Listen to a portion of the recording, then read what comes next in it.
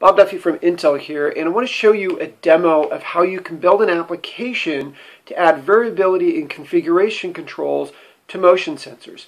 And there's a good reason why. Um, I've taken my Ultrabook application that I used for motion and sensors, um, and I had put it on a tablet here and given it to my daughter to use. And I noticed something very interesting. Um, when she was holding the device, she was holding it like this.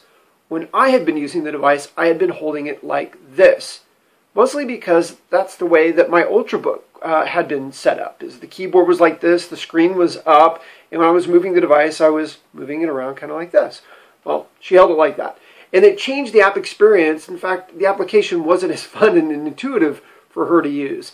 Um, so I set up some new controls. So check out this video and see what I did.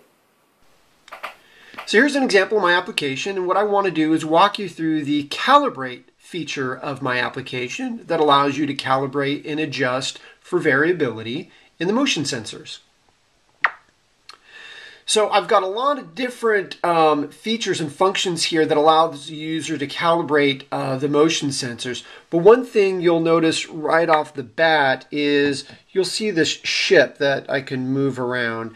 And one thing I did immediately is I put kind of a demo play mode here that allows you to test the uh, controls of the game before you actually get into the game. Um, one of the first features I added was a spin rate. Um, so one thing I noticed is that when people hold an Ultrabook, they move it very so slightly. But when they're holding a tablet like this, they move it all over the place. And if you held something like a mobile phone, you'd really move that around quite a bit. So the degree that you move the device might change depending upon the device you have at hand. Um, so I allowed for a spin rate change. So if I just kind of move it a little bit here. You'll see the ship. He's going to spin quite a bit all over the place. That's fast moving versus slow, which now I move it back and forth and he hardly turns. He moves left and right, but the spinning motion was very different. Um, but one of the key features is this um, neutral angle number that I added. So I'm allowing the user to set the neutral angle for the device. So if you look at this, this device is nearly upright. It's nearly 90 degrees.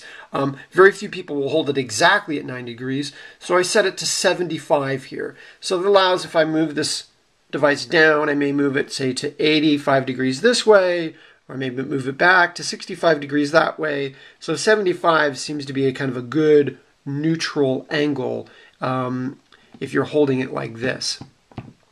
Um, but if I set it to zero or 30, I'll set it to 30 here, and you'll notice that it's, it's, it's, oops, there we go, set it to 30 there. Um, you'll notice that it's very difficult to get that, there he goes, finally it moved.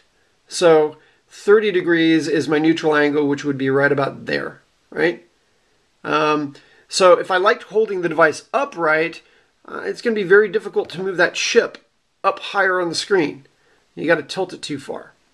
So allowing for that variability in the neutral angle and allowing the user to set it will create a better user experience, especially when you don't know if the sensor is in the keyboard, if the sensor's in the screen, or if that screen's flipped around or detached from the device. Um, adding this feature uh, provides control to the user.